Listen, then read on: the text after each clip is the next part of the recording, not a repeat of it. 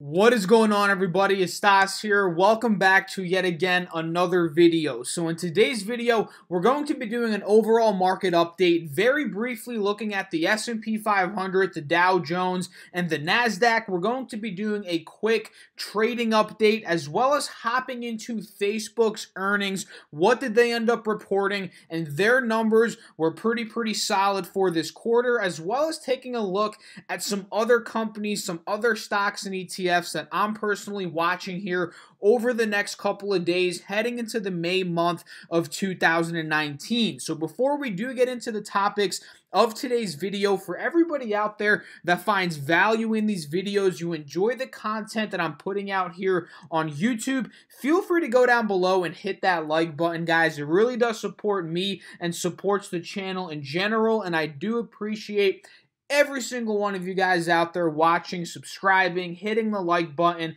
It really does mean a lot to me. So without further ado, let's just hop into it, guys. What ended up happening today in the overall market? Starting off here with the S&P 500, it wasn't really a crazy day, right? We ended up closing the day down about $6.43, which was kind of expected due to the massive green day that we had yesterday. You know, a little pullback here honestly didn't surprise me, right? We ended up closing down about 0.22%. Nothing crazy here on the SPX, just a very minimal pullback. Over here to the Dow Jones Industrial Average, same thing, right, guys? Down the exact percentage, down 0.22%, the exact same as the S&P 500, down nearly 60 points here, 59.34 to be exact. And the Nasdaq is up right now a dollar and 50, but this is the future. If we hop over here to the one day, one minute, we'll be able to see exactly where it ended up closing, which is roughly about 32 points below from where we are right now, roughly, actually, no, not 32, about 19. So it ended up closing the day, you can say, roughly down about 17 points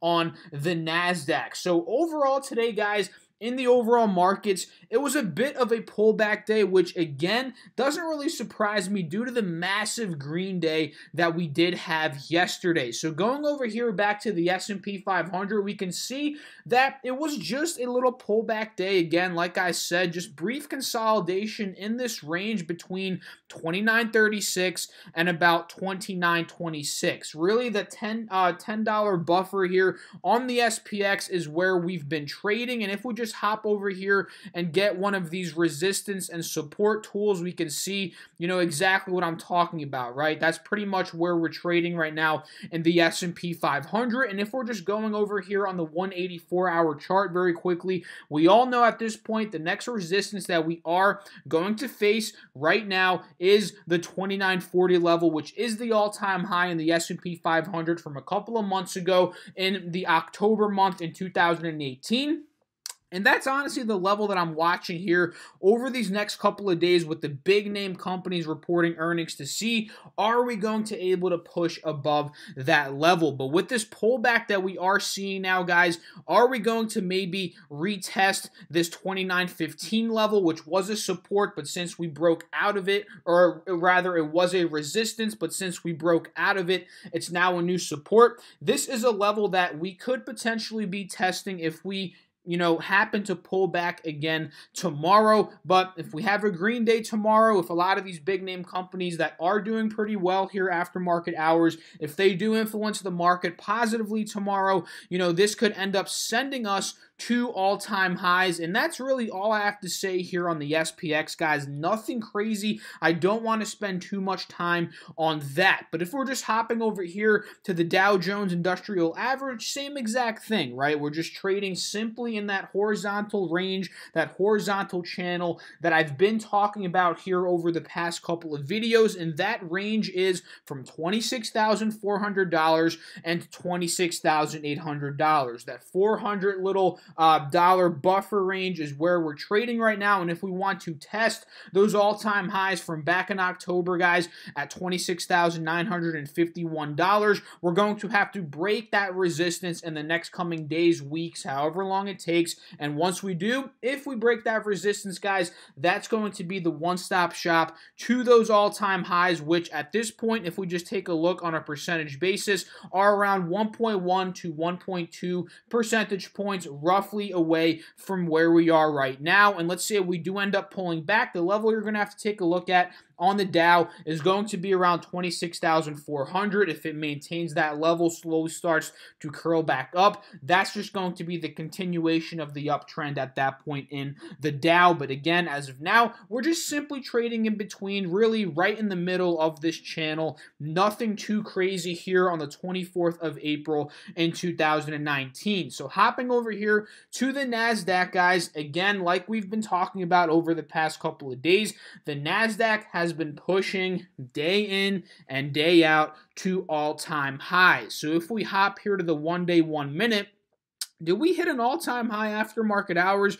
Yes, we hit an all time high yet again after market hours here in the NASDAQ. And I believe we actually hit an all time high in the NASDAQ after market hours yesterday. I think. I think that's true. I, I, I don't know 100% if that's correct, but I'm pretty sure it was after market hours. Actually, I can just check it right now. Maybe I'm wrong on that one. Maybe I'm wrong. If we go to the five day, five minute, we'll be able to see that a bit closer. Yeah, it does seem like we did hit uh, all time highs after market hours yesterday. So that's two days in a row after market hours, all time highs on the NASDAQ. And guys, again, on a technical basis here, in terms of the NASDAQ, we're just day in, day out hitting all time highs. We're pushing higher highs on the NASDAQ. We're just simply riding the 50 simple moving average like we have been over the past couple of months. Now, let's say we pull back on the NASDAQ. The level I'm going to be looking at in terms of a support level is going to be roughly 77, 25, 77, 30, right around 130 points below from where we are now. Are we going to pull back 130 points. Am I saying that?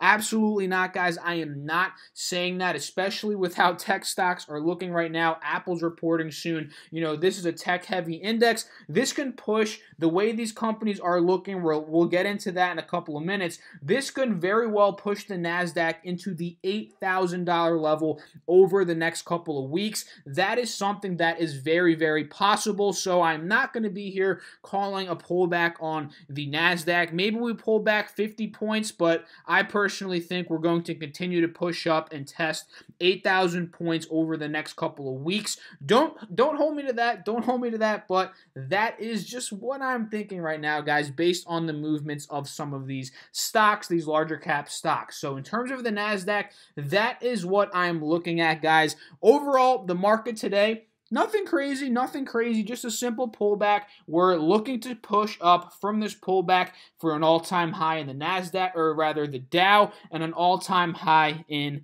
the S&P 500. So, in terms of my trading guys today, I'm not going to lie to you, honestly didn't do much because I was waiting for today, today's earnings reports in Facebook, Tesla, right? We talked about Visa, PayPal, Amazon. These were some earnings reports that I was waiting and I wanted to see before potentially trading these stocks tomorrow, right? Which in terms of tomorrow, that is Thursday, the 25th of April in 2019. So you guys saw in yesterday's video that I was actually in Procter and Gamble, which is a swing trade that I'm currently in with about 75 shares, and that's the only one that I'm currently in right now, right? Procter and Gamble did pretty well today up 0.5%, up 53 cents. A nice little recovery day, bounce day off the 180 SMA. Everything is looking pretty solid here for a recovery on Procter and Gamble. We're seeing a bullish cross. The 50 SMA is crossing above the 180 SMA.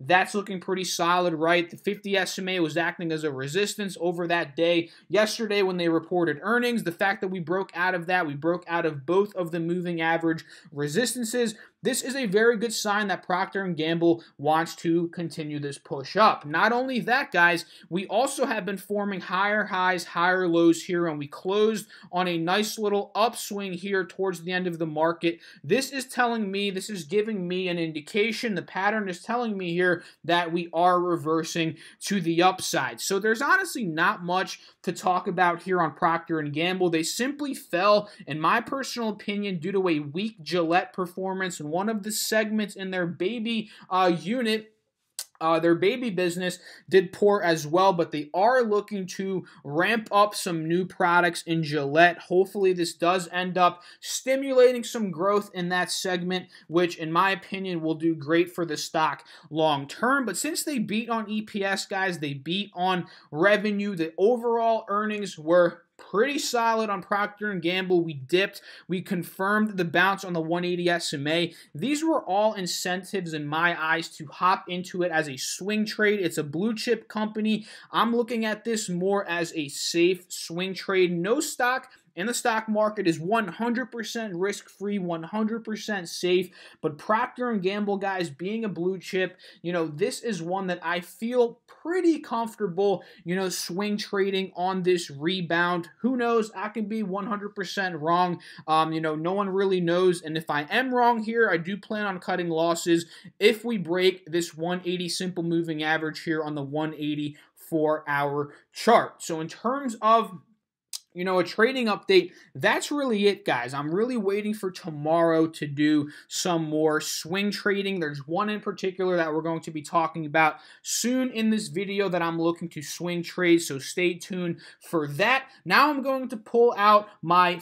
Facebook Oh my goodness, guys, I just got a notification from Robinhood. Facebook is at $200 per share right now. This is absolutely unbelievable. Let's just talk about you know, what is going on right now with Facebook stock. The earnings call is happening at the time that I'm recording this video, so I'm assuming Mark Zuckerberg, one of the leaders, one of the executives, said something that's very positive. It's causing the stock to push up even higher, and I'm going to just listen to that after I record this video, probably a rerun, which doesn't bother me, guys. I don't have to listen to it real time. That doesn't really bother me, but if we go to Facebook, we'll see, oh my goodness, guys, $202 per share. This is this is a real-time reaction right now. This is unbelievable. I actually had a feeling that Facebook was going to pop heavily today and I was right, guys. So let's just hop into what they ended up reporting in terms of earnings. So EPS, guys, was 85 cents versus the 161 expected by Wall Street. So you may be asking yourself,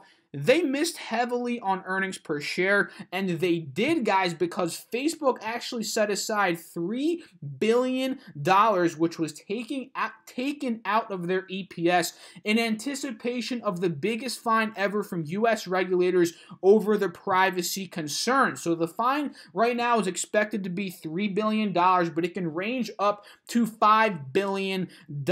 This fine was due to the investigation of Facebook after the Cambridge Cambridge Analytica scandal due to violating 2011 consent decree on user privacy. So this is actually the biggest fine in I think history if I if I recall. Yes, that is the biggest fine in history guys. And for those of you guys that don't know, Cambridge Analytica was a scandal where millions of people's data right? Their data was taken without their consent. So if Facebook, which is why, in my personal opinion, Facebook stock is flying, let's say Facebook didn't have to pay this $3 billion fine if that wasn't in their earnings per share, take a look at what their EPS would have been, guys. It would have been a dollar and 89 cents, which absolutely blows away analysts' expectations of a dollar and 61, which is is why the stock, in my opinion, is reacting as positively as it is now. Quite frankly, investors out there, they don't really give a crap about this one time fine because Facebook, let's be honest, they're making billions of billions of billions of dollars of profit. They see what the EPS would have been, which is a metric that honestly I'm looking at as an investor. A lot of people out there as investors are looking at. We don't really care about the fine, right? We know this is a one time thing. Hopefully, it doesn't happen again. And the EPS is is just looking super, super strong, which is what people are focusing on right now. Absolutely unbelievable, guys. Let's just go to the one day, one minute before we talk about revenue here. Let's take a look from 182, guys. It's up 10%. My long term holding on Facebook, it's going to be up a crap ton of money tomorrow if these levels do end up staying at 200, which I don't know if they will. We might see a pullback, but at this point, guys, up 10% after hours. Absolutely unbelievable. So revenue came in at $15.08 billion versus $14.97 billion expected by analysts. That's an 8% year over year growth. Some other metrics that we like to look at 2.38 billion in terms of monthly active users versus 2.375 billion expected, 1.56 billion daily active users. And, and uh, Mark Zuckerberg actually came out saying that he is focused on building out a privacy focused vision for the future of social networking, which is something huge in my personal opinion. Again, with the Cambridge Analytica, all these data scandals, you know, the privacy thing on Facebook is huge, and I'm sure it's it's really obvious that Mark is working on this. This is obviously the future of Facebook to be more secure. This is something that I love hearing as an investor, and he's working collaboratively. Collaboratively, that's a very tongue twisting word right there, to address important issues around around the internet. So, overall, guys, Facebook's earnings report blew it out of the water, in my personal opinion, right? And if we're just hopping here to live news to see if we can see anything, um, you know anything new that came out. So we can see yeah the five billion dollar fine there that that could be the peak of it. Three billion dollars for sure. You see okay the revenue okay okay eight percent growth year over year. We see that. So that's pretty much it guys in terms of facebook stock and their you know brief earnings numbers. We see the stocks at $200 oh my goodness guys. The fact that i was loading up on shares all throughout october to december it's making me really happy right now because that position in the morning is roughly going to be up like 40 30%, which is absolutely unbelievable. Let me know down below in the comment section what you guys think about Facebook. Are we going to maintain these levels? I would love to know what you guys have to think. So if we're just staying on Facebook now for what stocks I'm looking to trade, let's just go to some long-term resistance levels on Facebook that it seems like we are breaking out of right now.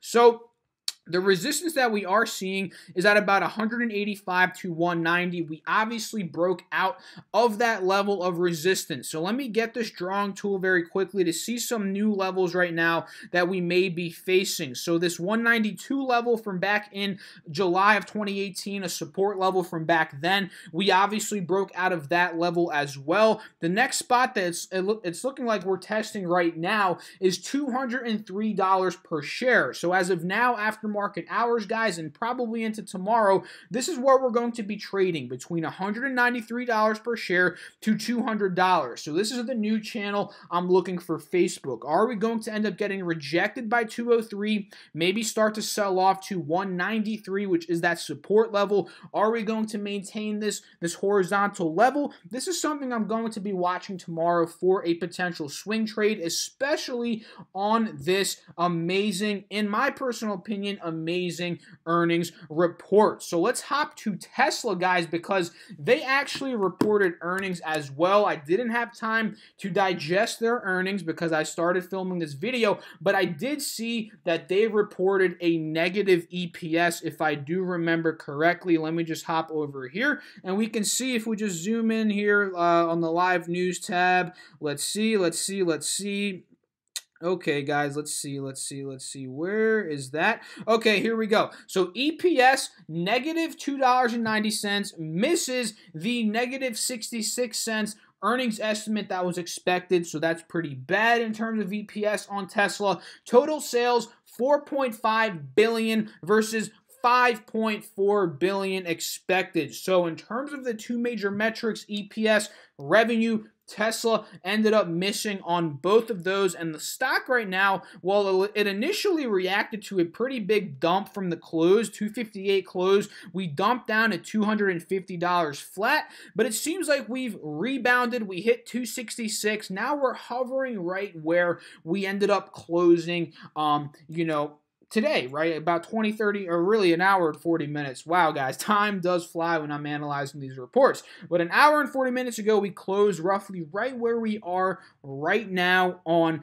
Tesla stock. So to be honest, guys, I don't know. I really can't predict. Honestly, no one can predict what Tesla stock is going to do, but maybe it goes lower tomorrow due to this bad earnings report at the open, at the bell. That's when we're going to know the direction of Tesla, right? If we see some aggressive sell off in the morning, maybe heading back to the 250 level, you know, that's going to be a sign that the bears are taking over. We're going to be testing that 247, 250 level of support again. If we break that, that's going to be such a bearish sign on Tesla. At that point, I'm going to be pretty scared. I might add some shares on my long term portfolio as a more speculative position. But in terms of swing trading, guys, I'm not going to be touching Tesla. I've said this numerous times on my videos here on the channel. I am not touching Tesla unless, until rather, we break out of these moving average resistances, guys. In terms of my strategy, guys, and in terms of what I'm seeing on a technical basis here,